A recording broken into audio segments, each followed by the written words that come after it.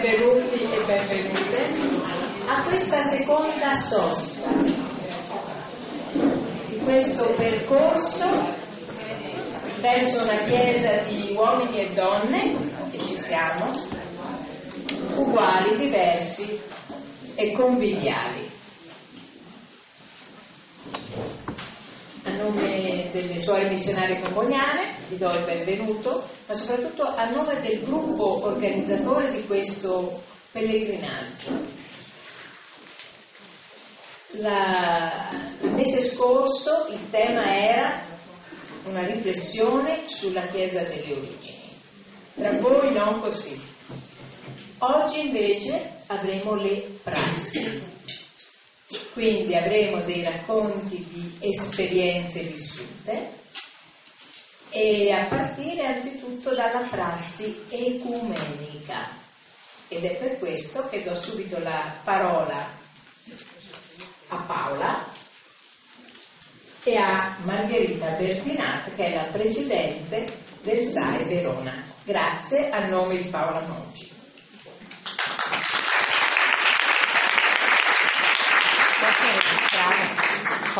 Io prendo la parola solo per dire quelle parole le abbiamo voluto accogliere con della musica. Non era forse facile da ascoltare perché era un po' particolare. È una, una ragazza, questa canzone, un rap, è stato scritto da una ragazza afghana, afghana e vi leggo solo una breve frase della canzone. Lasciatemi sussurrare, così che nessuno senta che parlo di ragazze in vendita. Con queste parole e con questo rap, Sonita, che è questa ragazza, eh, ehm, parla, vuole dare voce alle oltre 37.000 bambine che in Afghanistan ogni giorno vengono costrette dalle loro famiglie a sposare uomini molto più grandi di loro per soldi. Lei stessa era stata eh, destinata sposa eh, a dieci anni eh, e lei ha scritto can- altre canzoni e poi ha continuato a scriverne eh, e con questo è riuscita in qualche modo a dar voce non solo a sé, è riuscita a scampare, se vogliamo dire, a evitare questa sventura, ma anche a tante altre bambine. Grazie.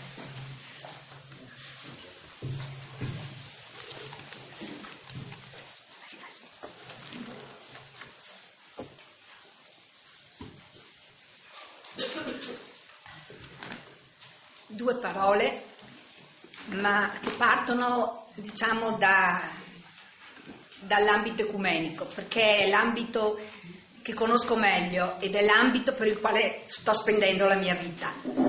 Quindi parto eh, prendendo spunto da un volumetto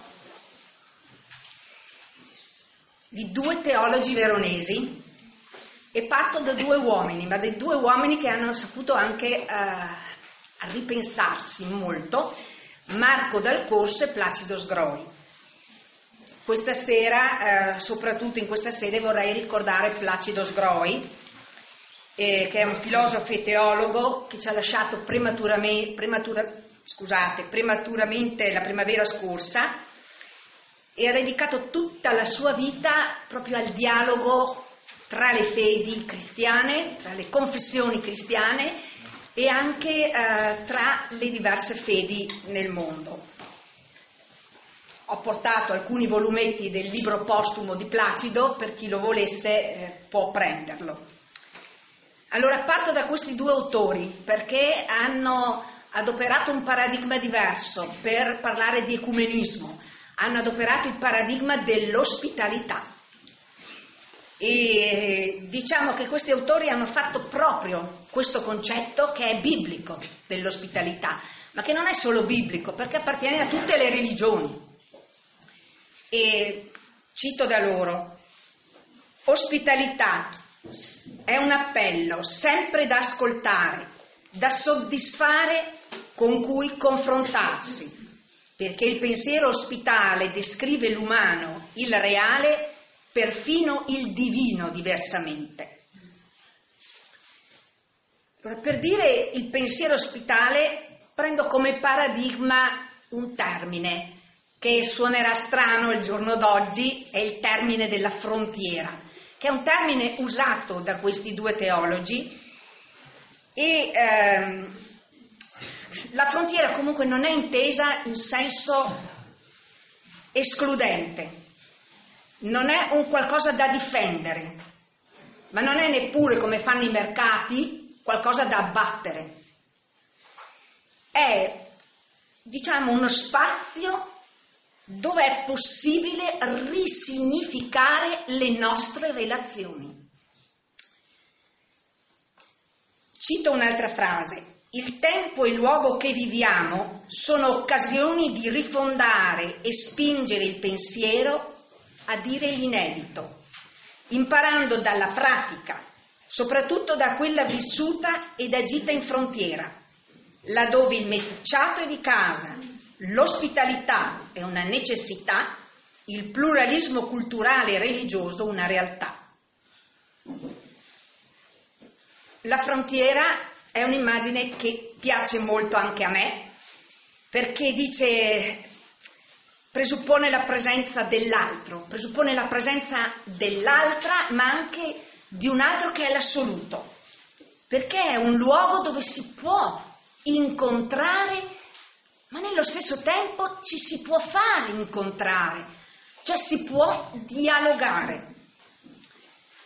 È uno spazio dove la mia vulnerabilità è presente, dove mi sento disarmata, ma è in questo spazio che le relazioni possono essere ridisegnate, rinnovate. È uno spazio dove mi lascio raccontare e posso raccontare l'altro, l'altra in maniera diversa. Vivere la frontiera, quindi accettare di mettersi in discussione e di non lasciarsi condizionare da concetti già predefiniti. Cito nuovamente, L'altro apre ad una condizione di nomadismo, disloca verità e valori costituiti, dice possibilità di spostamento senza perdere la propria identità.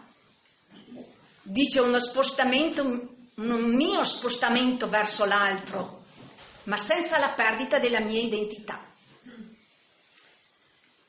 La nostra esistenza non corre tra due binari, penso che quello ormai lo sappiamo tutti, cioè ha un percorso più sinuoso, ma è anche arricchito dalle diversità, da tante sfumature. E queste sfumature che le, diversi, le nostre diversità rappresentano dicono anche la grande bellezza della nostra vita. Quindi sappiamo bene che non esiste un bianco e un nero, non esiste un bene, un male, non esiste una verità e una non verità. Perché? Perché l'assoluto, che noi chiamiamo Dio, che può essere chiamato con tanti nomi, è al di là di ogni nostra affermazione. Non possiamo trattenerlo, non possiamo catturarlo. Solo nell'incontro però, nell'incontro con l'altro, con l'altra, ci è data la possibilità di comprendere che le nostre visioni sono parziali, che noi guardiamo le cose da un punto di vista e l'altro può aiutarci a vederle dall'altro punto di vista. C'è una storiella così ve la metto come esempio e poi termino, una storia che dice che vari eh, rappresentanti dell'induismo vanno e vedono un elefante. Allora, uno lo tocca da una parte, l'altro lo tocca dall'altro, sono tutti ciechi. E uno dice, l'elefante è un lungo naso. L'altro dice, l'elefante è una grossa zampa. L'altro dice, l'elefante ha una lunga coda. Nessuno dice qualcosa di strano, tutti dicono una verità, ma dal loro punto di vista, parziale. Allora, l'agire delle periferie è sempre un agire di frontiera, dove esiste uno scarto tra ciò che è dato, tra ciò che esiste e ciò che noi immaginiamo, ciò che noi desidereremo. Ed è questo scarto che ci abilita ad uscire dal concetto statico di tradizione, dal si è sempre fatto così, dalla, conce- dalla tradizione concepita come un museo da tenere ferma lì fissa. Questo scarto ci impegna ad intraprendere dei cammini nuovi, ci costringe a battere strade che non sono mai state battute. Allora possiamo dire, ma la comunità, dove sta la comunità? Come stiamo dentro la comunità?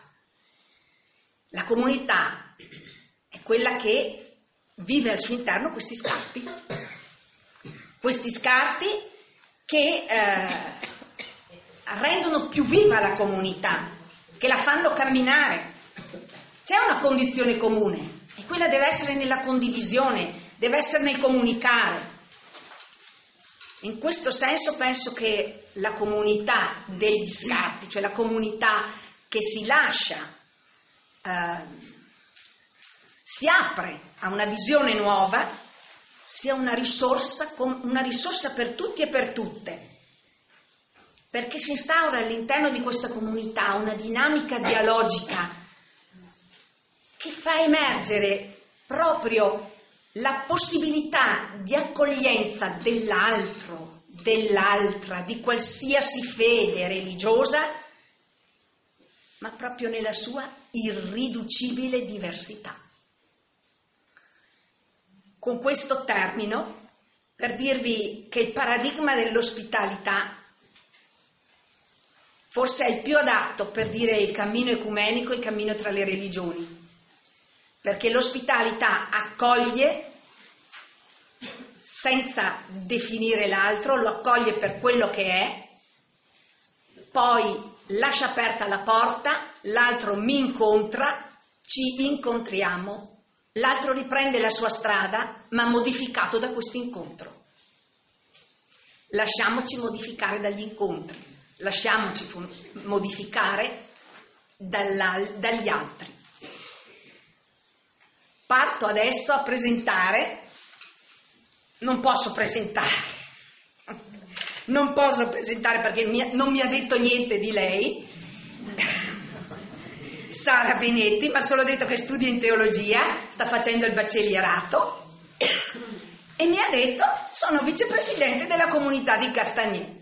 Allora, io lascio subito, sì no, scusate, della comunità Le Orme, scusate, lapsus e della comunità Le Orme e non ha voluto dire altro. Allora vediamo un po' che cosa ha da raccontarci di questa bellissima comunità. Lascio la parola.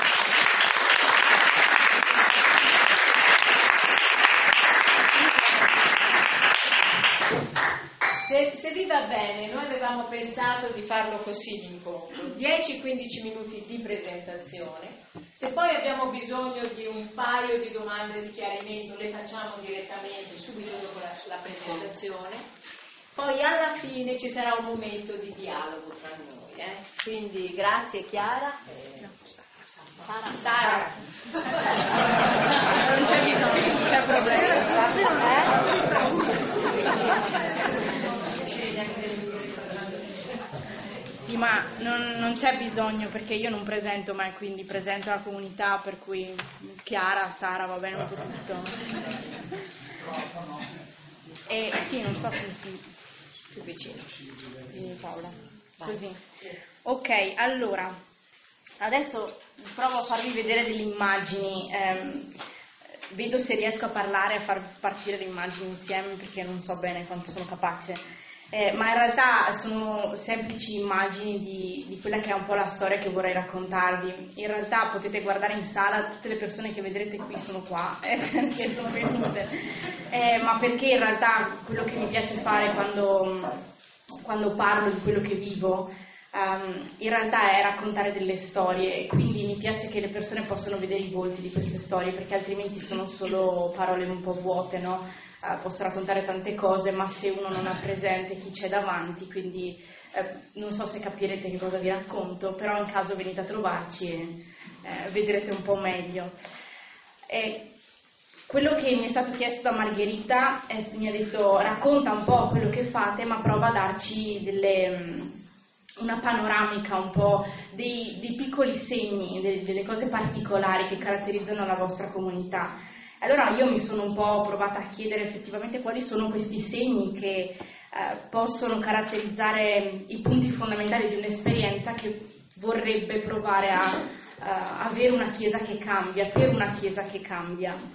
E, ovviamente il punto di vista che, da cui vi posso fornire questi segni è il mio punto di vista, che è quello di una giovane donna, quindi un punto di vista femminile, per quanto femminile possa volere eh, possa essere un aggettivo che io um, avvicino anche a delle figure maschili della mia vita.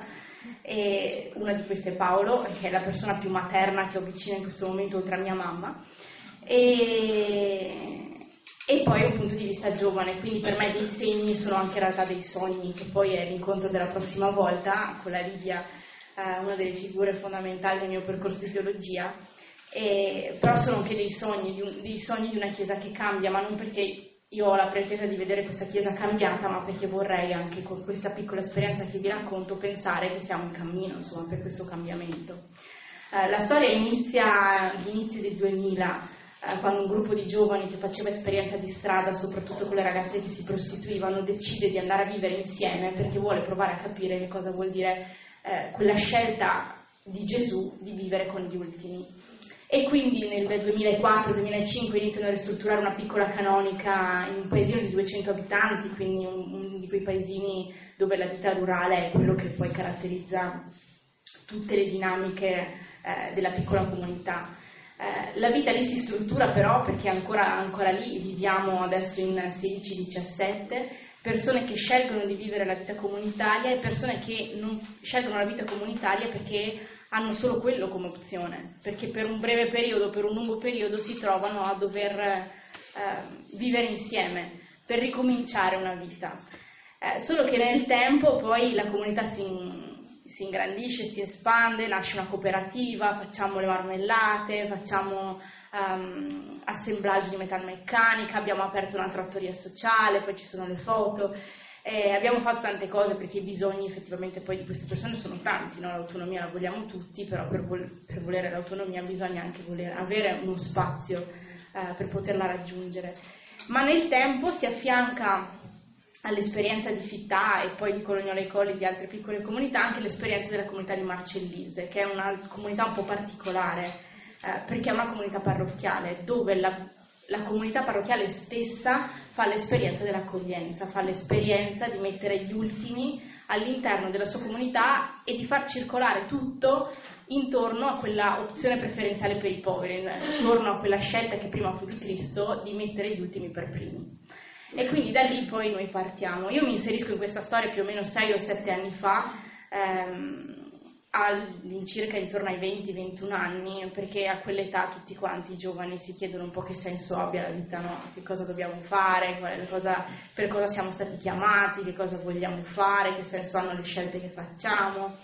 E, e io lì ho incontrato due, eh, due, due cose diverse che mi hanno portato a Fittà una era la storia di Abramo, Abramo che lascia tutto e va, parte per un comando e è disposto ad un certo punto a lasciare anche l'unico figlio che gli è stato dato, la promessa, e lui è disposto. Dall'altra parte, nella mia parrocchia, da dove venivo, non vi dico qual è, perché a questo punto della storia non ne parlo mai bene, quindi non lo dico, e nella mia parrocchia c'erano una serie di ragazzini con problemi di dipendenze e che facevano skate e quindi sporcavano un po' fuori dalla chiesa, che in realtà, che in realtà nessuno voleva in parrocchia perché dicevano appunto che sporcavano e che non, e che non stavano bene in parrocchia, se hai un problema di dipendenza cosa vuoi fare in chiesa, no?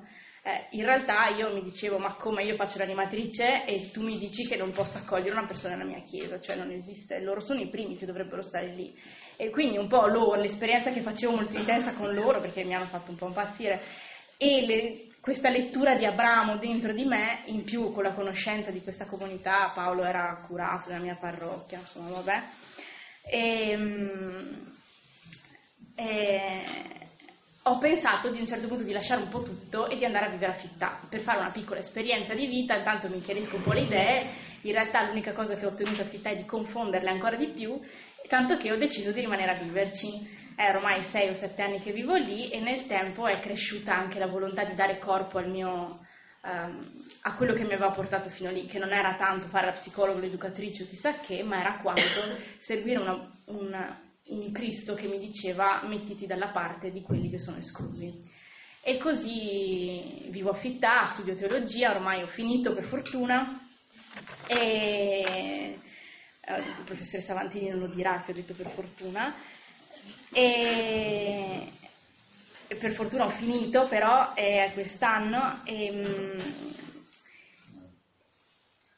e, da lì insomma ho iniziato a pensare che effettivamente quello che, che possiamo dirci è che un'esperienza come quella che vivo io è un'esperienza di una chiesa che è in cammino per il cambiamento.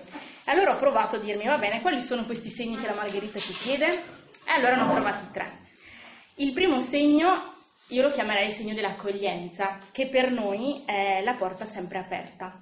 In casa affittà, eh, più che a Marcellise affittà, la porta è sempre aperta, di notte e di giorno. Eh, Alessandro Franzoni, quando l'abbiamo, eh sì, Giovanni Franzoni, quando l'abbiamo incontrato eh, qualche anno fa, prima che morisse, diceva che bisogna vivere sulla soglia, bisogna vivere sul limite, perché bisogna sempre controllare chi entra e chi esce.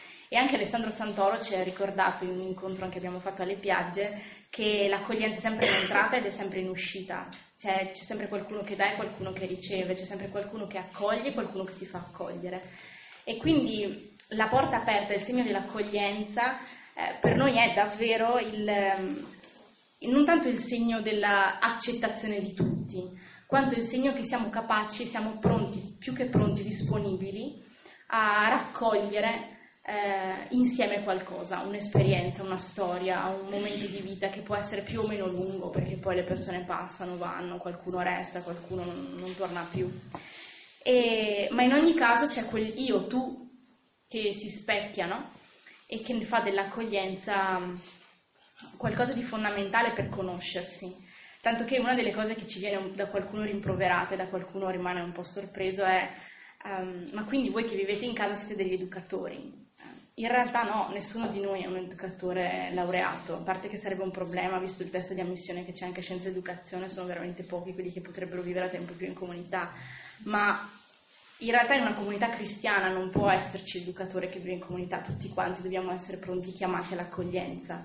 E quindi davvero questo vorrebbe essere il segno di una Chiesa che mh, struttura la sua, la sua, organizzazione non tanto, questa è Vanessa, non tanto eh, in un modo troppo organizzato, ma lascia che la vita degli altri entri, si specchi dentro se stessa, dentro questa chiesa e questa chiesa poi prende una struttura che poi è una a struttura, è una struttura non struttura, perché in realtà sa completamente modificarsi ogni volta eh, che, che, entra qualcuno di nuovo. E noi davvero lo facciamo sia in casa che in parrocchia, cioè quando una persona arriva ed è nuova la comunità si allarga, si restringe, si modifica eh, in relazione a quella persona che entra. Il secondo segno è il segno della casa che per noi è la tavola, perché noi in tutte le case che abbiamo abbiamo una tavola molto grande, perché lì ci mangiamo tutti insieme, è una regola, a meno che uno non stia male a tavola si arriva. Puoi avere tutte le lune del mondo, ma se tu sei arrabbiato tu comunque ti siedi a tavola, puoi anche non mangiare, puoi non parlare, ma tu ti siedi, perché è la regola della condivisione, no? Per forza, uno deve a un certo punto guardarsi negli occhi. E... Ed è anche il luogo dove in realtà noi ci raccontiamo, ci raccontiamo la nostra storia, ci raccontiamo la nostra vita. E quindi per noi la tavola e la casa in realtà è il luogo della celebrazione, no? E, ed è un po' quello che viviamo a Marcellise, sono celebrazioni sempre che non hanno, che hanno sempre qualcosa di nuovo, qualcosa di diverso, che raccontano e, e portano il racconto delle storie che viviamo. Um, perché la celebrazione alla fine è questo, secondo noi, è il mangiare tutti insieme. è il mettersi alla stessa tavola, no? è il valore ultimo dell'Eucarestia, quello che tutti siamo chiamati ad essere a quella tavola lì, non è tanto quello che mangiamo, ma è il fatto che ci andiamo tutti quanti. Quindi ad un certo punto noi sogniamo e mettiamo un segno con questa tavola in questa chiesa per dire che in questa tavola noi non abbiamo bisogno di lavarci le mani, possiamo veramente arrivare alla, alla, celebrazione della nostra storia senza esserci lavati le mani, un po' come diceva Gesù, no? non c'è bisogno di uh, troppe evoluzioni prima del pranzo, perché in realtà eh, portiamo quello che siamo e quello che siamo lo mettiamo attorno ad un tavolo e lavoriamo insieme a questo tavolo eh, per venire fuori da ognuno dei problemi dell'altro, ma anche per conoscerci ma anche semplicemente per dire che vogliamo essere una chiesa dove la celebrazione è la celebrazione di una storia. Non è un rito che si ripete eh, ogni domenica, ma è qualcosa di diverso. E quindi ecco che per esempio a Marcellise la chiesa non ha il, la disposizione dei banchi classica, ma è circolare, che poi non è circolare, ma è rettangolare perché la chiesa è rettangolare, ma è questo perché l'idea che uno entra e celebra condividendo perché bisogna guardarsi negli occhi, perché ognuno deve portare qualcosa, porta quello che è alla fine, no? porta quello che fa, porta quello che pensa, anche se non è quello che pensa un altro. E quindi questo è il secondo segno. E poi l'ultimo segno, in realtà me lo sono chiesta un, un, po', ho detto ma qual è l'ultimo segno? Allora ho chiesto anche un po' in comunità, ma voi che, ultimo, che altro segno mi direste? Allora ce ne sono stati un po'. Eh, e in realtà poi pensandoci, ho pensato che l'ultimo segno che secondo me è uno dei più importanti per capire quello che eh, noi proviamo a fare, insomma, no? che, quello, lo stile che proviamo ad avere, è il segno della parola, perché poi alla fine eh, la cosa più importante appunto che abbiamo è la voce che abbiamo è quello che noi possiamo dire, è quello che noi possiamo raccontare di noi stessi, delle persone che abbiamo incontrato, è quel racconto lì, quella narrazione lì che fa muovere le azioni della, della storia. No? La stessa storia della salvezza si, si, muove perché ci sono dei racconti, perché ci sono delle voci, perché c'è qualcuno che grida.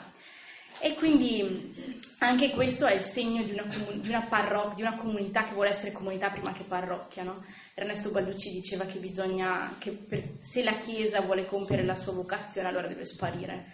E secondo me è un po' ci stiamo provando no?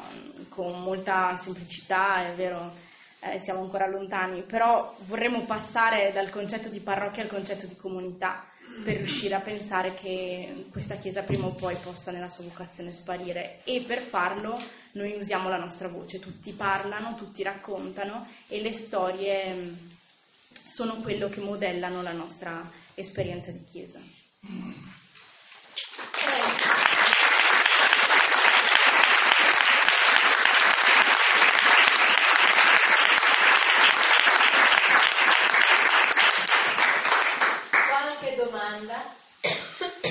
Il numero dei componenti della comunità. Il numero di componenti, ah, è difficilissimo. sono migliaia? no, sono molto meno. Cioè, nelle case le persone che vivono all'interno delle comunità saranno 45-50, ma poi intorno girano volontari, amici, simpatizzanti, ma eh, la stessa comunità di Marcellise tutta fa parte della comunità, quindi voglio dire è un concetto molto ampio. Eh, ad ascoltare ognuno di noi avremmo sì, numeri diversi perché poi ognuno di noi ci mette all'interno tutte le persone che ha incontrato, le persone che hanno condiviso per un breve periodo, per un lungo periodo, insomma. È un... La domanda è perché in pochi ci si riesce a mettere d'accordo. Quando la comunità è troppo elevata, non so, eh, forse da voi non nascono problemi, però... Eh sì,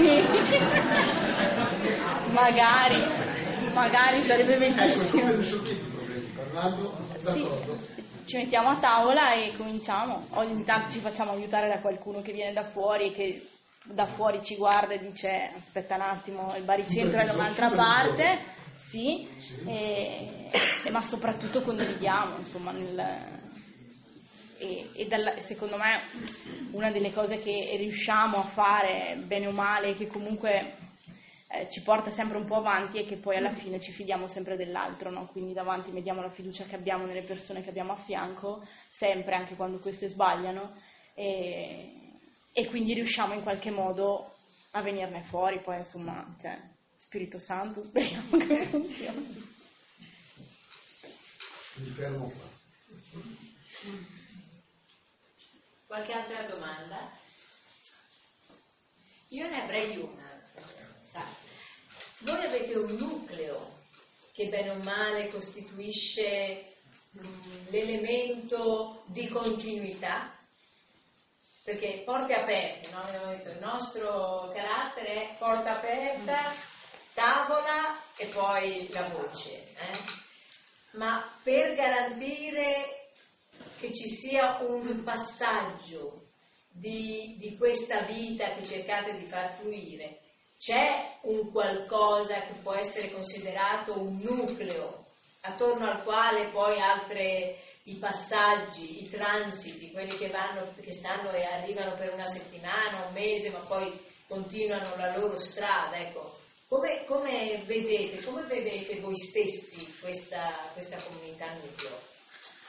Eh, la questione dei transiti è sicuramente una delle questioni più complesse che noi abbiamo all'interno della comunità, non è um, fare un'analisi sui passaggi non è mai così semplice, lo puoi fare soltanto quando i passaggi sono avvenuti, no?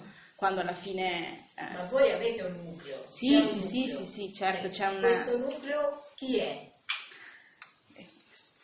Chi è? Un po', un po' tutti in realtà, nel senso che c'è... Eh, la cosa com- complessa forse da comprendere è che c'è un nucleo di responsabili, no? Se vuoi chiamarli così di persone che hanno fatto parte dell'esperienza dall'inizio oppure che sono aggiunte dopo come me o che hanno deciso di prendersi la responsabilità di questa comunità.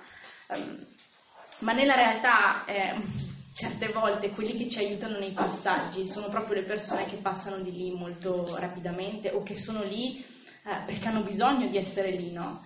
Eh, perché sono quelli che poi in realtà si fanno garanti, che riescono a vivere veramente le, quel luogo come casa e che quindi sanno bene, intanto sanno prendersi cura l'uno dell'altro, molto meglio di come posso fare io. E, e poi sanno prendersi cura di quel luogo lì perché è l'unico luogo che in quel momento per loro è importante, no? perché che hanno come radice, quindi riescono ad aiutare noi a, a capire qual è la strada appunto per questi transiti. Um, poi sai, non lo so, dal mio punto di vista una delle cose che mi aiuta sempre per capire come fare il passaggio successivo è la parola di Dio, quindi um, per me è fondamentale, ma ognuno di noi ha, ha, quello, ha, ha, qualcosa di suo, insomma, che lo tiene lì e che gli permette di passare oltre. Grazie. Allora, adesso conosciamo Anita Cervi e Giuseppe Magri eh, che sono sposati da 43 anni, hanno figli e nipoti, 6 anni di missione in Etiopia. Forse sentite? Sì, sentite. Anita è formatrice dei missionari al CUM e collabora con la fraternità. Vivono in Canonica a Castagneda da 10 anni e questa è l'esperienza che vogliono raccontarci.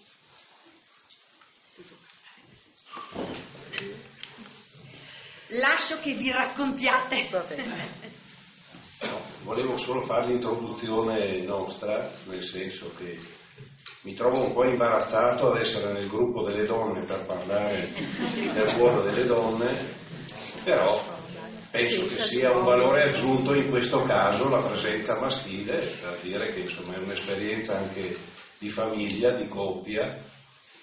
E che deriva da esperienze lontane, molto, molto lontane nel tempo, che sono iniziate per noi come coppia quando Anita era la moglie di Beppe, per molti anni, perché lei ha dovuto dedicarsi alla famiglia e quindi ha lasciato a me il tempo di essere Beppe per tanti, e finalmente è arrivato anche il tempo per me di sentirmi dire che sono il marito di Anita.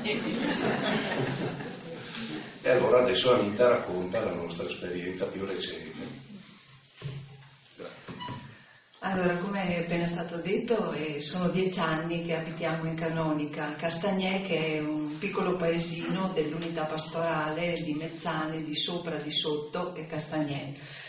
Eh, questo paesino da da un po' di tempo era rimasto senza parroco perché i parroci che erano presenti, eh, parlo nel 2008, eh, vivevano in comunità nella chiesa madre a Mezzane di Sotto.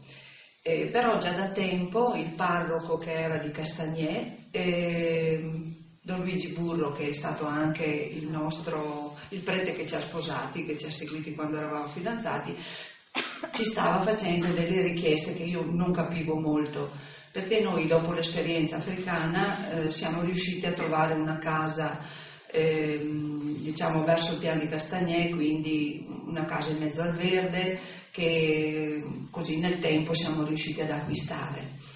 E, e, da qualche tempo Don Gigi ci diceva perché non venite in canonica e io proprio non capivo questo perché dicevo ma effettivamente noi la casa ce l'abbiamo, non capisco questa richiesta. E un giorno lui così con coraggio ha detto beh eh, avete una casa grande, avete quattro figli e lasciate la casa ai figli e voi venite in canonica. Ecco, questo è stato il primo passaggio. E quindi dal 2008 ci siamo trasferiti in Canonica. Che cosa facciamo? Nulla, viviamo. Perché non ci è stato chiesto di fare qualcosa di particolare, perché tanti ci chiedono aprite la chiesa, chiudete la chiesa, mettete i fiori, perché questo nella nostra chiesa è ciò che i laici fanno. Mm. Però c'è qualcuno di ispirato che pensa che i laici possano fare anche altro. Eh, e, e ci è stato chiesto di fare, di fare presenza, di essere presenza come famiglia, di essere presenza e anche eh, diciamo, presenza nella mediazione diciamo, con le persone, nell'accoglienza dei parrocchiani, cercando di essere collante mh, mm, dove si, si possono disgregare le relazioni e piano piano abbiamo imparato e a dieci anni da, da, questa esperienza, adesso con Beppe stiamo valutando e verificando no, un po', non tanto se l'esperienza è stata positiva o meno, è stata molto positiva per noi, perché ho ritrovato tutte le parole che Margherita diceva all'inizio, no? eh, il bisogno di quando siamo rientrati dall'esperienza africana eh, di intessere relazione. E, con, impossibilitati a tornare in Africa perché comunque avevamo deciso di rimanere in Italia per una serie di questioni e per noi è stato un invio in missione, una missione eh, che comunque passa sempre attraverso l'andare, la voglia di incontrare, perché si incontra solo se si vuole, e anche il farsi accogliere, perché noi comunque siamo stranieri, non siamo autoctoni di Castagnè e quindi veniamo da fuori, veniamo dalla città e questa estranità ce l'abbiamo ancora addosso perché voi sapete nella benevolenza comunque nei paesini eh, questo viene sottolineato spesso perché è vero, non abbiamo la storia di quel paese, nonostante che abitiamo lì ormai tra Piani Castagnè e Castagnè ormai da più di 30 anni. Ecco. Per cui è stata diciamo, una ricerca dell'altrove, una ricerca di senso, di dare senso alla nostra vita per rileggere anche l'esperienza diciamo, che, ave- che avevamo fatto fino a quel tempo. Don Gigi ci ha accompagnato per un po', poi lui nel 2012 è morto, per cui e siamo stati eh, supportati e accolti dal parroco che poi è venuto dopo, eh, Don Domenico Scolari. E, diciamo, mm, Margherita quando l'ho sentita al telefono mi chiedeva che cosa c'è eh, per voi di innovativo in questa esperienza. Allora, innovativo porta novità. Sicuramente nella diocesi di Verona siamo l'unica esperienza, nonostante che abbiamo una certa età. Mm. E, mm, non sto a dare, eh, diciamo, sottolineature di mancanze è un'esperienza secondo me che nel mondo laicale dovrebbe prendere proprio piede, eh, proprio anche in questo momento che la Chiesa di Verona si sta a, approcciando a questo grande progetto di queste grandi unità pastorali e credo che la presenza del laico, famiglia anche, sia eh, fondamentale nell'accompagnamento e nella comprensione. Io sono stata per molti anni anche formatrice nella catechesi dei genitori. Non è che avessi doti particolari, è che comunque quando eh, mi, così mi consegnavano le problematiche familiari io le capivo profondamente, perché comunque mi appartenevano. Mi appartenevano, sapevo che cosa voleva dire accompagnare eh, ragazzi come i miei figli a, ad un cammino di catechesi, eccetera. Ecco. Per cui eh, diciamo che il cammino in sé ha contato e, e in questa realtà, in questo ruolo, eh, ci ha aperto anche una dimensione. Sempre abbiamo amato questa Chiesa, anche se spesso la sentiamo poco madre, molto matrigna, però abbiamo capito che è solo nell'accoglienza di questo, nel starci dentro, che forse almeno qualcuno mi ha detto, e ci credo molto, che non è tanto all'altro se dici di cambiare che cambia, l'altro cambia nella misura che tu cambi, che tu dai un respiro diverso, che tu sai, come diceva eh, prima Margherita, no? Il, tu sei capace di agire di frontiera, no? sai cogliere le periferie, ecco, quindi credo che in, in, questa vita non ci sia niente di speciale, sicuramente voi eh, avrete delle, delle testimonianze molto, molto, anche più interessanti. Diciamo che di innovativo altro c'è stato un, un aspetto che ci ha alleggeriti. Abbiamo regalato la casa ai nostri figli e siamo ritornati nulla tenenti. E questo è una dimensione che ci ha proprio messo le ali ai piedi, perché quando eh, ci sei dentro non ti rendi conto. Nel momento che tu poi la doni, poi loro eh, ne hanno fatto anche buon uso perché eh, facendosi un piccolo mutuo se la sono ristrutturata, due erano già sposati con figli, per cui eh, sono riusciti anche a far rivivere quella contrada dove abitavamo. Ecco. E, e, in questo devo dire grazie a Beppe perché io mh, mm, ero molto attaccata a quelle mura perché avevano visto la nascita della terza, avevano visto tanta vita, no? E mi ricordo che nel lasciare, quando per andare in canonica, che piansi molto, lui mi disse una cosa che la ricordo sempre, che mi ha aiutato a fare quel passo, mi ha detto, ricordati che in qualsiasi posto noi siamo stati nel mondo abbiamo sempre fatto casa. La casa non sono le mura, sono le persone che noi incontriamo. Ecco, quindi eh, direi che eh, Qualche persona, non dico molte, magari anche nella realtà di Castagnè, non comprende molto la nostra presenza perché dice ma è possibile che alla vostra età non riusciate a comprarvi una casa e, e abitare in canonica? Ma che futuro avete? Ma i vostri figli poi eh, eh, non dicono niente, si sono presi la casa, voi gliel'avete regalata. Ecco, c'è questo passaggio che penso che guardiamo anche con simpatia, senza giudizio, perché credo che ehm, si possa comprendere attraverso diciamo, anche ehm, l'esperienza, un'apertura di cuore, il capire che eh, si parlava prima anche di, di circolarità, di condivisione. Ecco. Nel nostro piccolo noi cerchiamo di farlo, cerchiamo di essere presenza eh, dove ci viene chiesto senza però eh, usurpare o, o, o, invadere quello che è lo spazio degli altri, perché questo è molto importante. Ecco. Eh, lavorare evangelicamente, mi piace sempre ricordare Isaia quando lui dice parla del servo inutile. Credo che proprio l'inutilità sia la costante che ci deve accompagnare nelle, nelle scelte della vita. E domenica avevamo il Vangelo del destra-sinistra di essere protagonisti. Ecco credo che sia molto sottile, è un filo di lana quello dal, dal, dal fatto del servizio e umanamente abbiamo bisogno di emergere. Però se mettiamo davanti il bene degli altri questo ci risulta assolutamente non sempre facile, ma comprensibile e attuabile.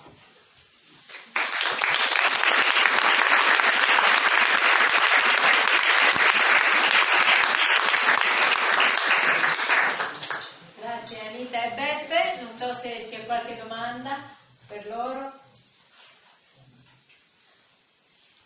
Prima dicevate la Chiesa non abbiamo neanche le chiavi, no?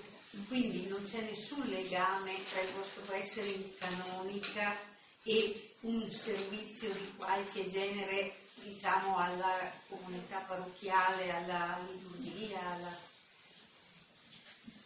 dal punto di vista istituzionale no. In modo informale tanto. Questo è interessante. Non c'è una lettera di incarico del parroco, del vescovo che si dice dovete accendere le candele perché non lo faremo comunque. Insomma. Anzi, a maggior ragione non lo faremo.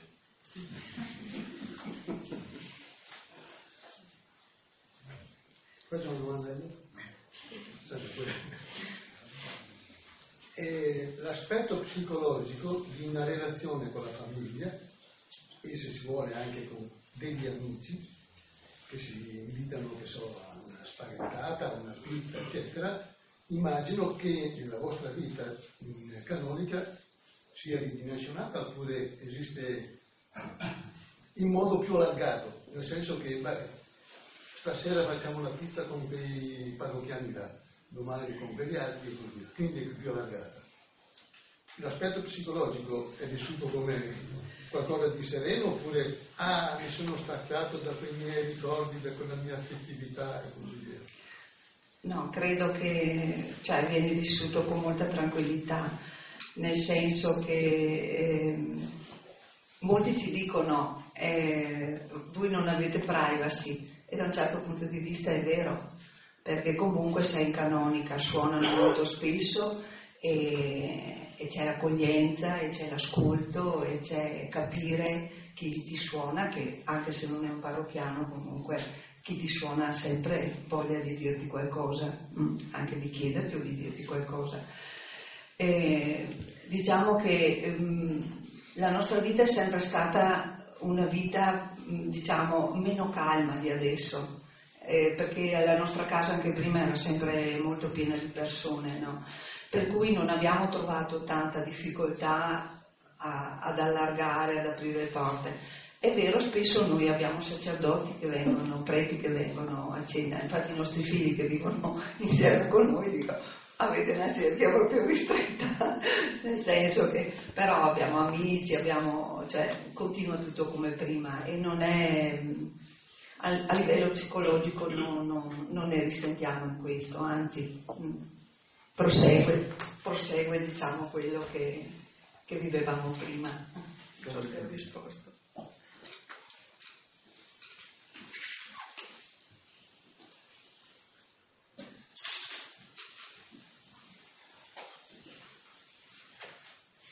Scusatemi, eh, mi hanno detto, perché sono già le nove e mezzo adesso, che il cancello principale, quello da dove siete tutti e tutte entrate, è chiuso.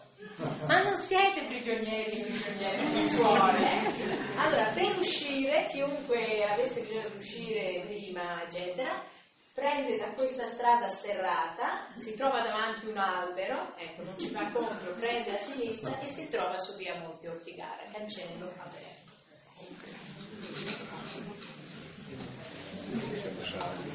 Comunque essere prigionieri delle suore comboniane sarebbe sempre una cosa buona.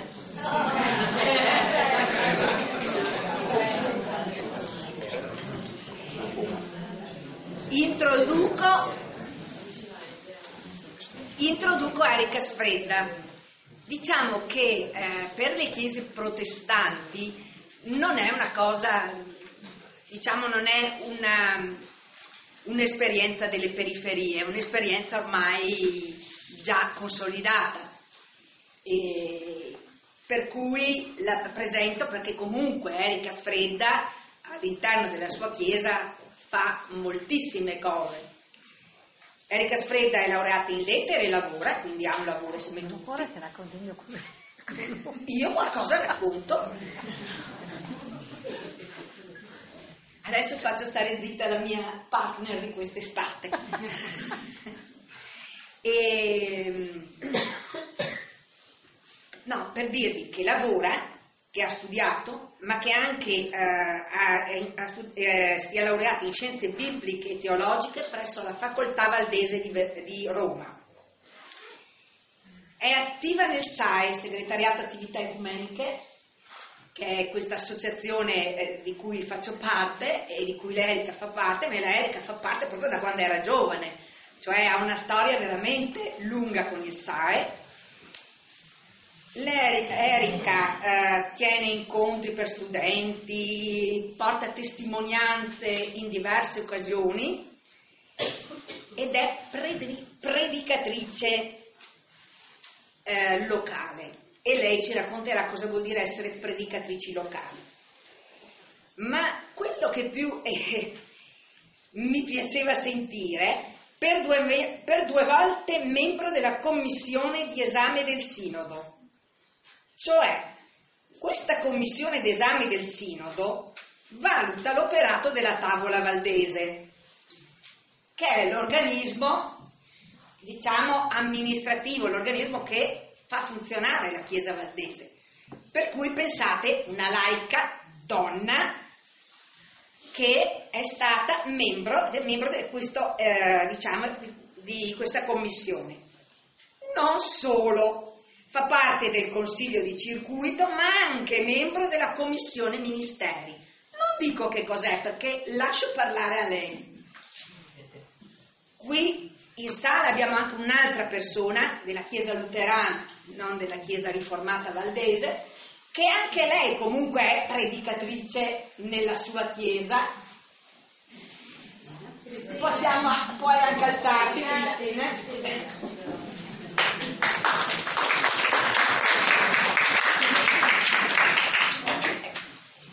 La mia scelta è andata in questo caso ad Erika perché da, eh, può raccontare qualcosa del SAE, forse anche più di me, che sono entrata dopo di lei, e eh, perché comunque c'è qualcosa che, che ci, lega, ci lega particolarmente e sono forse anche un pochettino le radici mie, insomma mio papà era un pastore valdese.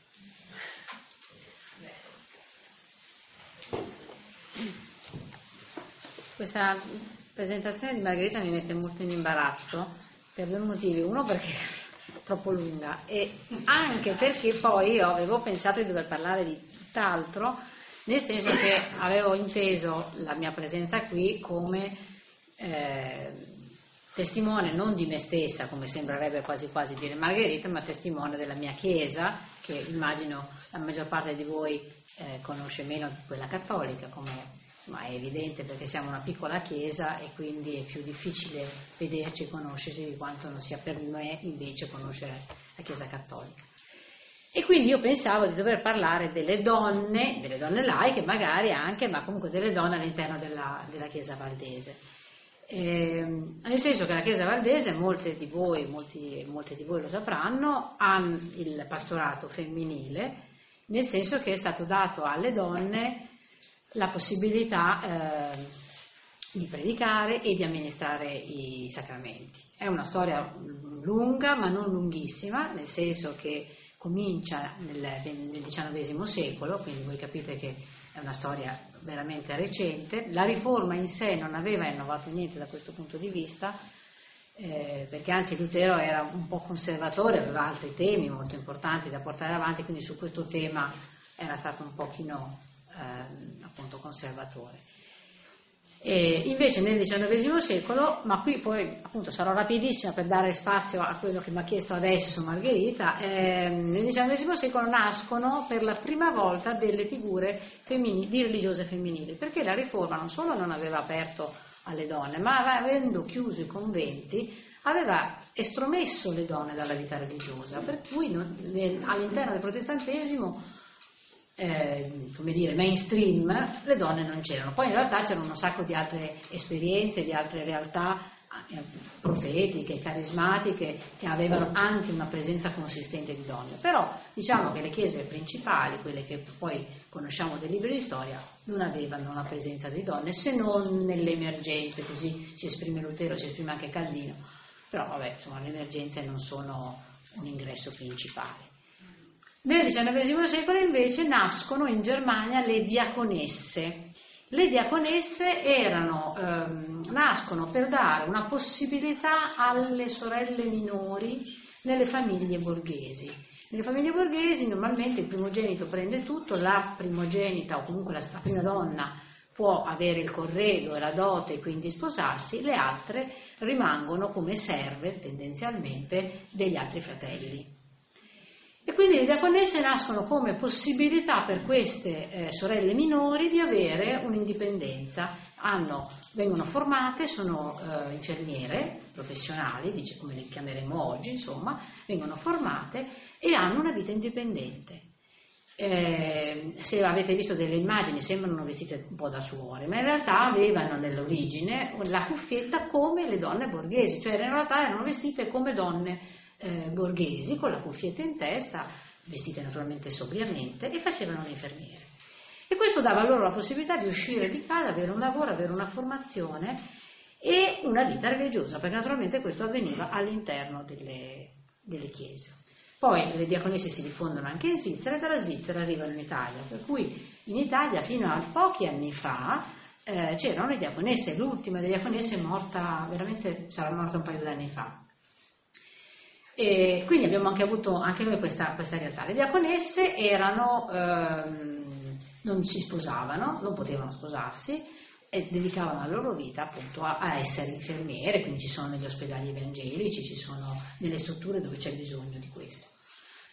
Ma naturalmente non poteva bastare questo, nel senso che le donne avevano anche la vocazione alla predicazione, all'ascolto, alla vita attiva proprio in senso propriamente religioso e quindi ehm, qua e là si hanno alcune esperienze, cominciano ad esserci alcune esperienze.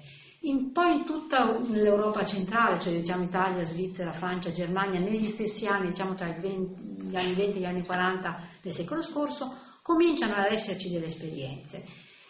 Eh, oggi stasera non c'è Molari, Molari l'altra volta aveva chiesto eh, ma eh, che ci sono degli risvolti, cioè in una chiesa dove le donne sono pastore, sono eh, sacerdo- sacerdoti, ma non sono sacerdoti, naturalmente sono pastori, eh, cambia la comunità. Ecco, io non credo, io credo che la Chiesa protestante crede che lo Spirito continui a soffiare all'interno delle chiese, di tutte le chiese naturalmente, quindi eh, stimola le comunità ad andare avanti, a fare un cammino. Abbiamo sentito oggi di due percorsi eh, diversi, tutto sommato rispetto a un certo tipo di tradizione eh, cattolica, lo Spirito continua a suggerire anche delle soluzioni diverse e ehm, oggi finalmente stiamo tornando a una situazione che vi ricordo che c'era già anche nel Nuovo Testamento, cioè le donne già nel Nuovo Testamento hanno un ruolo più eh, forte, più importante, più attivo di quello che poi è stato nella storia eh, della Chiesa. E ehm, quindi insomma, queste, ah, ci, sono degli episodi di donne che cominciano a studiare, cominciano a predicare. E quindi nel, parlo ovviamente solo dell'Italia, nel 1948 eh, le chiese della Sicilia dicono beh noi vorremmo eh, che voi, discu- voi, al sinodo, e qui entrerò nella storia mia se vuoi, eh, che voi al sinodo pensiate, riflettiate se sia il caso o meno eh, di aprire al ministero femminile parentesi sul sinodo a richiesta di Margherita. Il sinodo è la massima assemblea della Chiesa eh, valdese, la Chiesa valdese è una eh, chiesa organizzata per assemblee, quindi c'è l'assemblea di chiesa che è quella locale, poi c'è il circuito, poi c'è il distretto e infine c'è il sinodo. Il sinodo è, si riunisce una volta all'anno eh, per eh, circa una settimana ehm, e vede riuniti tutti i pastori e eh, laici in uguale numero, cioè sono 180 i deputati al sinodo, di cui massimo 90 sono i pastori, in alcuni anni in cui i pastori erano più di, di 90 non tutti potevano votare, erano tutti presenti ma non tutti potevano votare, e 90 laici, laici che sono rappresentanti delle varie comunità. Il sinodo è il luogo dove la Chiesa valdese prende mass- il massimo delle sue decisioni. E poi naturalmente queste decisioni vengono maturate attraverso il lavoro di commissioni, di gruppi di lavoro, cioè non è che vengono improvvisate, non siamo una chiesa carismatica che, che rende che lì per lì lo spirito ispira, c'è tutto un lavoro dietro, però poi la commissione presenta al sinodo le questioni e, eh, e il sinodo decide. La commissione d'esame eh, che cosa fa? Analizza, studia il, il, lavoro della tavola valdese, dell'opera delle chiese metodiste, perché in Italia le chiese valdesi e le chiese metodiste sono insieme, della facoltà valdese di teologia e della eh, commissione diaconale. c'è un gruppo di persone, quattro persone, di cui due, massimo due la, pastori massimo due laici, sono due più due sostanzialmente, che analizza tutto il lavoro durante, che c'è stato durante l'anno di questi organismi esecutivi e presenta al sinodo questo operato. Sulla base di questa presentazione sono, c'è il dibattito sinodale sostanzialmente, quindi di anno in anno cambia questa commissione, di anno in anno cambiano ovviamente anche le questioni. Il sinodo dà degli incarichi agli esecutivi, gli esecutivi li fanno durante l'anno, l'anno alla fine dell'anno queste commissioni eh, raccontano come e se e quanto eh, gli incarichi sono stati portati a termine. E io ho avuto in effetti due volte l'onore di far parte di questa commissione perché effettivamente la nostra Chiesa è una Chiesa che dà spazio anche alle persone più, adesso ormai io ho quasi 60 anni, non sono più una bambina, ma ho cominciato diciamo, a lavorare per la mia chiesa quando ne avevo eh, molti di meno, ne avevo 25, 26, 27, 30, 35, insomma, via via. E, e devo dire che la prima volta che sono stata al sinodo mi è stato chiesto di, eh, se volevo candidarmi per questa commissione, io ho pensato incautamente di dire di sì perché appunto essendo l'ultima arrivata mai avrei pensato mi avrebbero eletto invece mi hanno eletta perché hanno visto una ragazza giovane, parlavo, avevo il coraggio di parlare al sinodo, che in effetti è anche un luogo che un po' intimidisce, e quindi ah, e mi hanno eletta. Il colpa anche di Letizia Tomassone, che molti di voi immagino conoscono, che è stata proprio lei, ma sì, vieni, vieni, insomma, vabbè, ok. Eh, quindi è una chiesa che effettivamente lascia spazio anche eh, agli ultimi. Dal punto di vista ehm, appunto dell'organizzazione, l'altra cosa, adesso appunto sto un po' mescolando quello che mi ero preparata con quello che mi hai chiesto adesso. Eh, la eh, predicazione. La predicazione è data in primo luogo naturalmente ai pastori e alle pastore. Vi dicevo che nel 1948 è stato, si è cominciato a discutere al sinodo sul pastorato femminile, ci sono serviti 14 anni per arrivare a una decisione decisione che è stata maturata, quindi come potete immaginare, 14 anni, ogni anno qualcuno riportava al sinodo questa questione, la commissione che aveva esaminato eh, aveva dato parere favorevole, era convinta che ci volesse, fosse lo spazio e, e fosse il momento giusto per il pastorato femminile. Sono corsi appunto 14 anni, nel 1962 è stato accettato il fatto che ci fosse il Ministero Pastorale Femminile, nel 67 abbiamo avuto la prima eh, donna pastore. Poi dopo, eh, negli anni 80, c'è stata anche la Chiesa Battista, poi la Chiesa luterana eh, in Italia e quindi diciamo che entro gli anni 90 del secolo scorso tutte le chiese storiche protestanti italiane in Italia sono, hanno il pastorato femminile. Dico storiche perché le chiese pentecostali invece eh, non solo non hanno il pastorato femminile, ma sono fieramente ostili al pastorato femminile. Quindi non pensiamo che tutto il protestantesimo è una, una compatto, diciamo. Ci sono le chiese eh, storiche che nascono dalla riforma e dal risveglio, quindi diciamo che nascono tra il 500 e fino all'Ottocento e che hanno una posizione, come dire, più liberale, lasciatemi passare il termine, e invece ci sono le chiese che sono nate uh, tra fine 800 e tutto il Novecento, che sono eh, le chiese che sono in grandissima espansione, fra l'altro, come credo anche nel cattolicesimo, nelle chiese queste neocatecumenali hanno un grande impatto sulle persone e eh, sono contrarie tendenzialmente all'ecumenismo e al sacerdozio eh, femminile, hanno una posizione morale molto rigida, molto eh, chiusa rispetto a, a, alla modernità, diciamo così in generale. Eh, e quindi insomma finalmente nel 67 abbiamo avuto il primo pastore. Nella chiesa metodista la uh, predicazione laica c'era sempre stata, sin dai tempi di Wesley, che formava i laici, ognuno al suo livello culturale, diciamo, quindi il metodismo aveva anche persone molto semplici che eh, si sentivano ispirate e che in mancanza del pastore predicavano.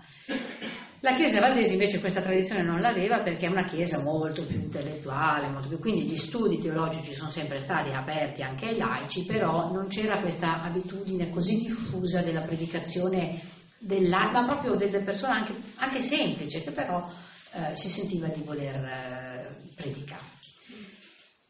Con l'unione tra Chiesa Valdese e Chiesa Metodista naturalmente questo problema si è posto e quindi è stato un po' strutturato, perciò un po' della formazione valdese è entrata nella, nella, predicazione locale, quindi oggi abbiamo predicatori locali valdesi e metodisti che hanno un percorso di studi prima di essere predicatori.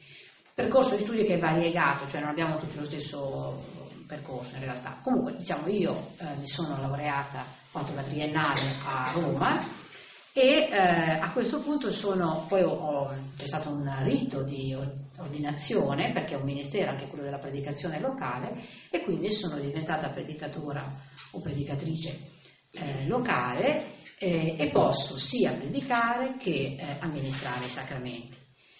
È, è, ovvio che il, in primo luogo predicano e, e amministrano i sacramenti i pastori, questo è naturale che sia, però a me è successo già di aver celebrato sia la Santa Cena che anche un battesimo, che è stata un'emozione notevole, devo dire. E, e, poi, vabbè, mi è capitato anche di fare una benedizione matrimoniale. Naturalmente io non posso celebrare un matrimonio, a differenza di un pastore, perché per le intese con lo Stato italiano io non sono nessuno, non posso essere un ministro che sostituisce lo Stato italiano, mentre un pastore sì. Però la benedizione, cioè la parte propriamente di preghiera, eh, la posso fare anch'io e mi è capitato anche di eh, benedire una coppia, insomma. Ecco, eh, tutto questo per dire che ehm, ecco, se avessi fatto il mio discorsetto avrei iniziato nel dire io non sono sensibilissima alle tematiche di genere perché ho avuto la benedizione di avere una famiglia nella quale sono stata, eh, avevo, eravamo cinque fratelli, tre donne e due ragazzi, e due, due maschi, e siamo stati trattati tutti nello stesso modo, sia in casa, perché facevamo i turni per lavare i piatti, apparecchiare, sparecchiare, nessuno ne aveva voglia, ma tutti dovevamo farli, sia anche le uscite serali, naturalmente, morosi, fidanzati, fidanzate, cioè non c'è mai stata nessuna, gli studi, tutti abbiamo fatto gli stessi studi, non c'è stata mai alcuna differenza, quindi io, come dire, non ho il nervo scoperto, io ho tante sorelle, amiche che hanno molta più sensibilità di me nel cogliere le ingiustizie, le, le, discriminazioni, le difficoltà di un percorso di eguaglianza di genere. Io francamente non ce l'ho tanto, ma perché dopo ho per scontato una serie di cose e devo dire che ho avuto la fortuna di essere in una chiesa dove effettivamente la parità di genere è molto avanzata. Certamente non è, cioè siamo italiani anche noi, quindi viviamo in un contesto che è quello italiano, se qui ci fosse seduta un'altra persona e ho in mente vari nomi, vi potrebbero raccontare tutta una serie di difficoltà che anche nella Chiesa valdese metodista hanno le donne. Per esempio, la prima che mi viene in mente, alla facoltà valdese di teologia gli insegnanti sono tutti uomini. L'unica donna che c'è, che è la pastora Tomassone, in realtà che cosa insegna? Insegna studi di genere, teologia femminista e studi di genere, cioè una donna che insegna le sue cose. E poi non è nemmeno ordinaria, perché lei è un insegnante incaricato, quindi nella tra gli insegnanti ordinari non c'è neanche una donna e non ci sono gli studi di genere, cioè sono un corso un po' a parte, ci sono, ma eh, bisogna vedere il bicchiere mezzo pieno, mezzo vuoto come volete voi, però questa cosa per esempio è. Poi naturalmente in tutti gli organismi esecutivi le donne hanno meno tempo, questo diciamocelo in Italia ancora hanno meno tempo degli uomini e quindi di fatto ci sono più uomini. Al sinodo, dove la presenza è abbastanza eh, equivalente tra uomini e donne, però effettivamente parlano molto di più gli uomini.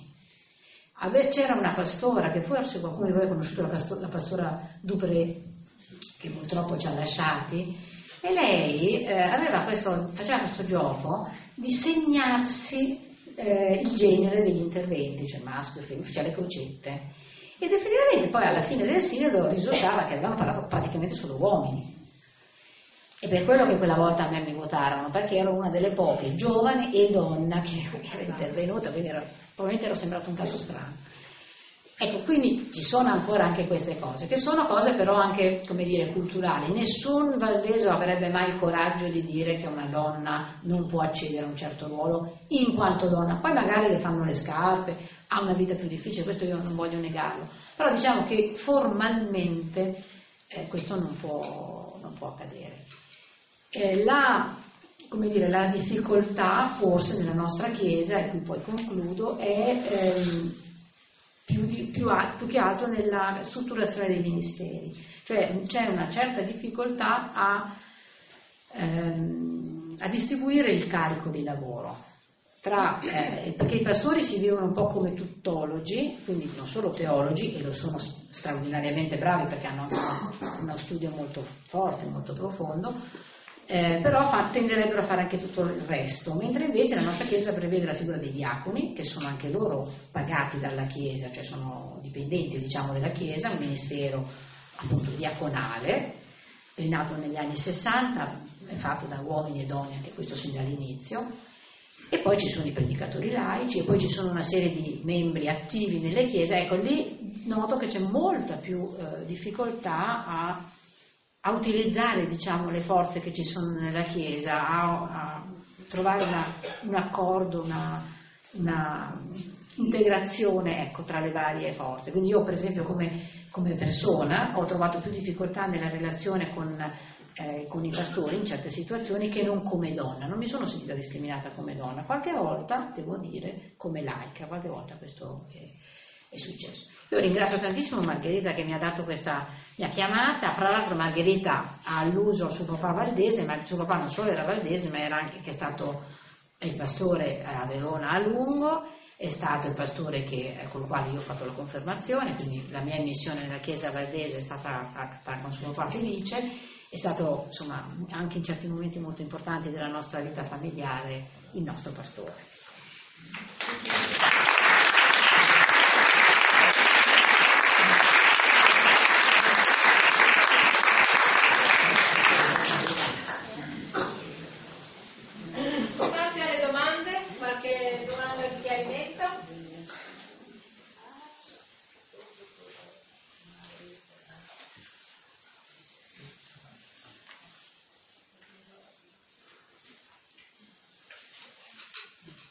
Una domanda molto semplice.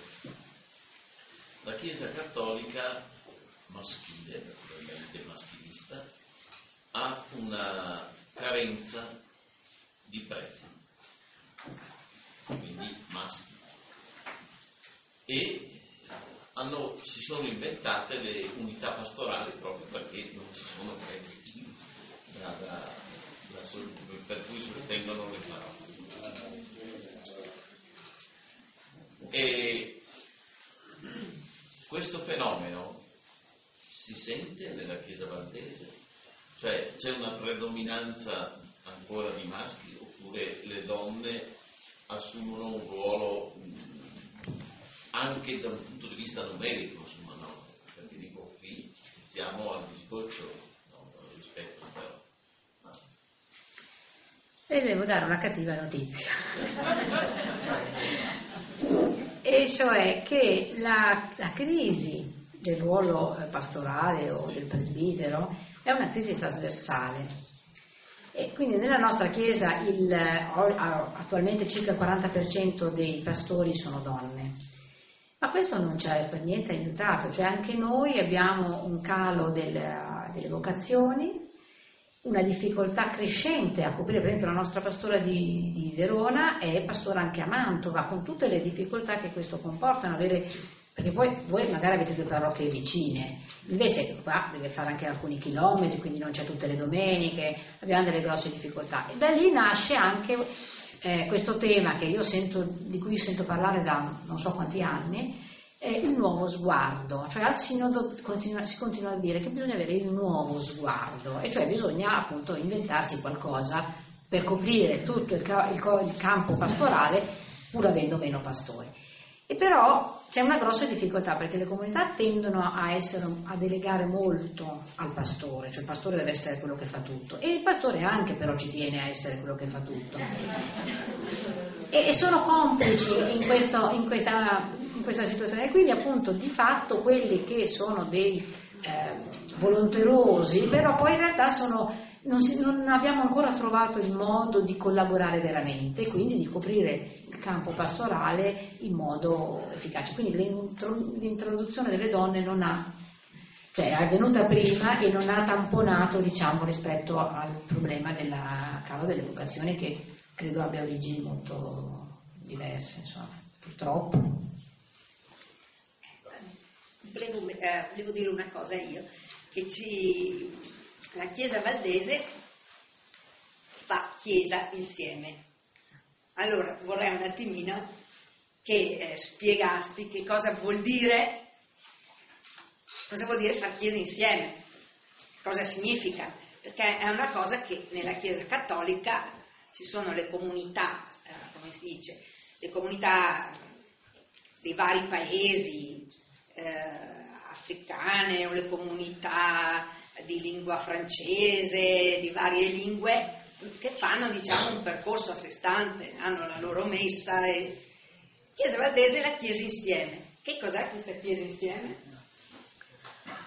Allora, essere Chiesa insieme è una sigla che ha ehm, inventato uno, Valdese, insomma, della, che però è nella Federazione delle Chiese Evangeliche Italiane. La Federazione delle Chiese Evangeliche Italiane è una federazione che riunisce al suo interno, oltre alla Chiesa Valdese, la Chiesa Metodista, anche la Chiesa Luterana, la Chiesa Adventista, eh, serie, la Chiesa Battista e una serie anche di altre chiese minori ed è la federazione quella che gestisce per esempio il programma protestantesimo, non so se lo vedete mai perché o è di notte fonda o è di mattina quando gente al lavoro, eh, anche il culto radio lo gestisce la federazione, cioè ha alcuni servizi e adesso la federazione è in prima fila per la campagna eh, che voi tutti conoscete eh, a, a, favore dei Mediterraneo Hope e a favore dei, dei migranti. Essere, poi appunto essere chiesa insieme è stato preso, mm, come dire, portato avanti, nasce in federazione che ha creato un suo sportello eccetera, è stato portato avanti dalla chiesa valdese metodista.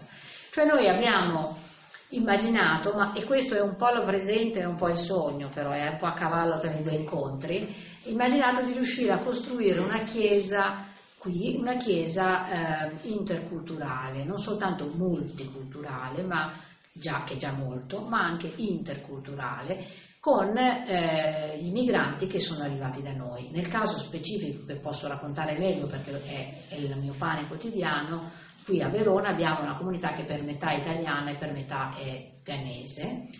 E questi fratelli africani sono metodisti, quindi sono proprio i nostri fratelli, ma la nostra similitudine comincia e finisce qua, nel senso che eh, un africano ha una spiritualità, ma anche una teologia molto lontana da quella degli europei. Cioè arrivo quasi a dire che su certe cose siamo più vicini ai cattolici che ai fratelli africani.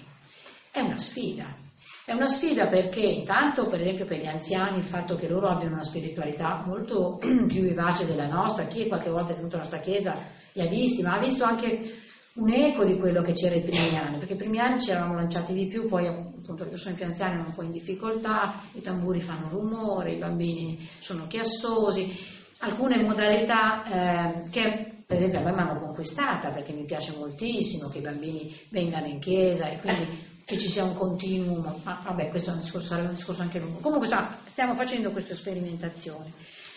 Facciamo la Chiesa insieme. Fare Chiesa insieme significa anche lasciarsi contaminare, a, a, correre il rischio di cambiare. E questo è molto difficile, molto difficile soprattutto per le persone più grandi perché noi abbiamo per esempio molti che sono ex simpatizzanti che sono entrati in Chiesa Valdese a un certo punto, hanno lasciato la Chiesa Cattolica o l'ateismo hanno, e quella è la loro Chiesa, la sentono fortissimamente e quindi hanno una paura tremenda che poi un certo giorno si svegliano e non c'è più la loro Chiesa. Per me che sono nata a Valdese è più facile perché non ho paura di perdere niente, io sono valdese, cioè nessuno mi può strappare via il mio essere valdese. Per uno che è entrato a un certo punto, magari con un percorso anche doloroso, faticoso, è molto più difficile, ma questa non è più la mia chiesa, non è la chiesa che ho scelto quella volta. Adesso i casi sono tantissimi e diversi. È una cosa meravigliosa però, perché eh, so, copri delle cose, per esempio appunto la gioia, noi europei scusate ma di gioia ne abbiamo poca, quando nella chiesa è una cosa seria, questo è un po' il nostro approccio. E invece loro vanno in chiesa e cantano la gioia e vivono, eh, c'è gente che vive con 300 euro al mese, eh? cioè vivono con questo e sono gioiosi. Non è solo perché sono africani, come qualcuno dice, no, perché hanno anche un senso proprio di riconoscenza perché sono io. C'era un uomo che adesso veramente una storia bellissima perché adesso è diventato camionista, ha la moglie, c'ha il figlio, quindi cioè, è una storia lieto fine. Però questo, quando era qui all'inizio non c'aveva di che mangiare e insomma faceva dei lavoretti, poi ogni tanto erano due giorni che non mangiava, pregava e diceva Signore ma tu mi hai fatto venire in Italia, mi hai mantenuto in vita fino adesso, quindi c'hai la responsabilità su di me, dammi da mangiare. Diceva Erika, poi mi squilla il telefono e mi chiama qualcuno che deve mettere l'antenna, che devo fare questo, fare questo. Insomma, una fede, una testimonianza vivente. Poi adesso, siccome gli è andato tutto bene, lui tanto più dice, eh, vedi, ma lui era felice anche quando stava male, cioè non è che è felice adesso perché in qualche modo il suo sogno è arrivato a conclusione. No, lui era felice anche quando aveva niente, ma niente c'aveva. Ecco, questa cosa noi ci, ci, ci parla, noi europei, che, che, che non siamo capaci di questo. Quindi è un'esperienza bellissima, è un'esperienza difficile, perché anche loro non sono mica tutti ecumenici. Ecco, lì è un'esperienza di ecumenismo e forse i miei anni nel SAI mi hanno anche aiutata in questo, perché in realtà la soluzione più facile sarebbe gli diamo lo spazio, noi siamo democratici, gli diamo lo spazio, che facciano quello che vogliono, noi facciamo il nostro culto e loro si fanno il loro. Sarebbe la soluzione più facile. Però noi riteniamo che, la, che il Signore non ci ha chiesto questo. Il Signore ce li ha mandati in casa perché vuol darci qualche cosa. Forse vuol far risuscitare una Chiesa che sta un po', non dico morendo, ma insomma un pochino stanca è, dà dei segni di stanchezza, ecco, diciamo così. Ecco, invece questi non hanno stanchezza. Il rischio è che noi li contaminiamo, perché io lo, la vedo il percorso in questi 15 anni, si sono secolarizzati anche loro, qualche volta non vengono in chiesa perché vanno a un centro commerciale e mi viene la pelle d'oca a raccontarlo, perché invece una volta loro erano tutti sempre presenti e noi, chi aveva da fare l'arrosto, chi aveva questo, chi aveva quell'altro, noi siamo un po' così, noi italiani. Ecco, quindi questo è essere chiesi insieme, mettersi in gioco e non venite che casa anche vostra, no, venite che quindi lavoriamo insieme per costruire una nuova casa.